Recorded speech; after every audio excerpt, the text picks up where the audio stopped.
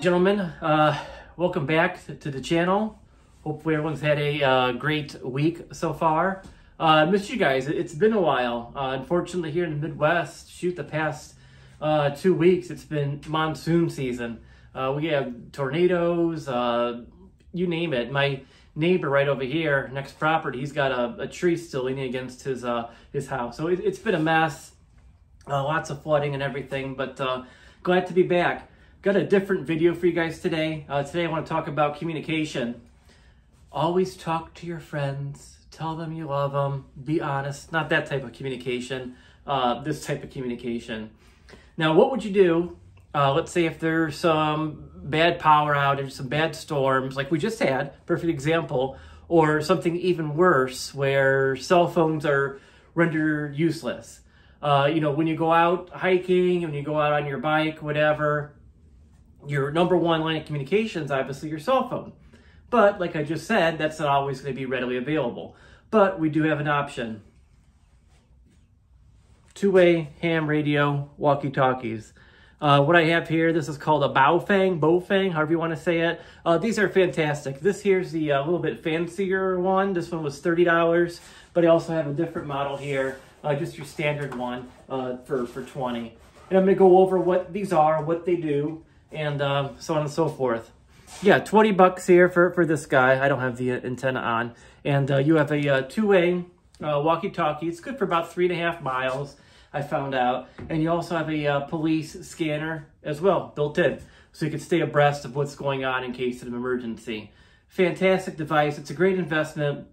Uh, I got four of them.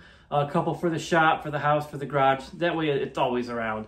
A lot easier than, you know, dialing a phone number. Uh, if you're ever out hiking or, you know, going motocrossing with the guys, you know, bring a couple with you. I have a solution I'm going to go over. Uh, you know, that way you can always be in communication with your friends in case there's, you know, not just emergency, but just to talk, just to, just to communicate. And God, I was looking over these things, doing some research on YouTube. Oh man, what a, what a crotchety community the ham radio uh, guys are. The, this com, I'm gonna get a thousand comments below. I already know it. Uh, the ham radio guys, yeah, it's kind of a ham radio. Yes, it is illegal to push the push to talk button with, with caveats. Uh, it's not illegal to talk on the uh, family lines or anything like that. It, obviously, if you're going to interrupt police communication, emergency emergency communications, yes, it's you know illegal by the FCC. No one is driving around with a signal detector, trying to find out, you know, if, a, if two two guys are, are communicating to each other, you know, on motocross. It's, it's not going to happen. no one does it. No one's out policing people using these ethically or the right way as a walkie-talkie. It's not going to happen. I, I read the police blotter every morning. Never do I see, you know, Dan Johnson got arrested for using a, a walkie-talkie to communicate. It, it just doesn't happen.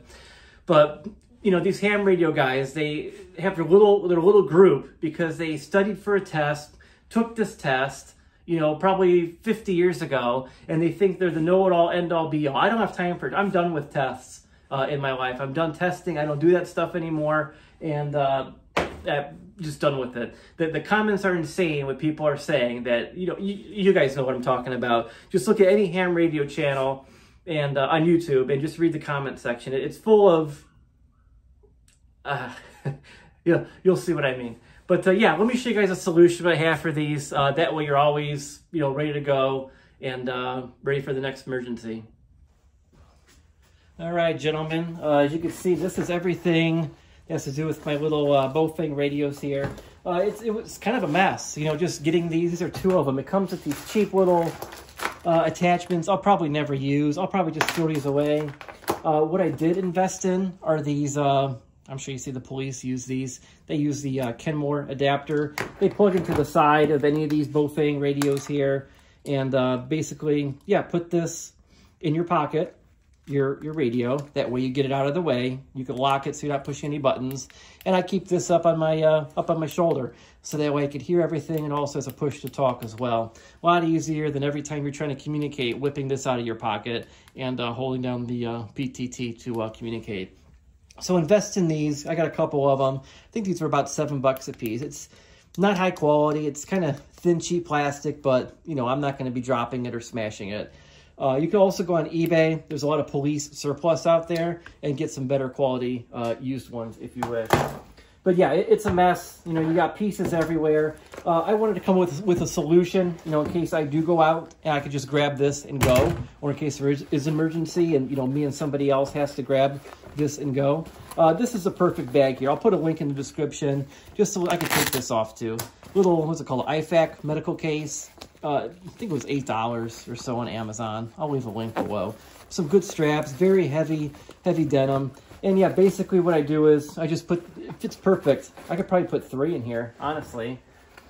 Let's try that. Does not fit with the antennas. You could take these off. They just screw on and off uh, quite easily. Throw that in the bag. Throw that in there. Uh, put my microphone in the front pouch. I don't know if you guys could see, but that's nice too. It has a little divider in this bag so you can kind of neatly put everything in there and just zip it up and throw this in the truck and boom. Now I have three, three people can communicate uh, together without uh, needing a cell phone or anything like that. So just a handy little kit. I think everyone should have this. Uh, right here in this bag, it was probably $65 for the walkie-talkies, 14 for the two headsets, and 8 bucks for this bag. And now, you know, if, I, if there's ever a storm, we have to, you know, get up and go quick, I could just grab this and, uh, you know, go on my merry way. Uh, perfect for airsoft, too, if you have any airsoft buddies, any motocross buddies.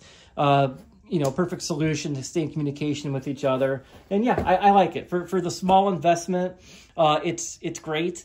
Uh, now I could leave my cell phone in the car. You know, my cell phone's, you know, $1,400.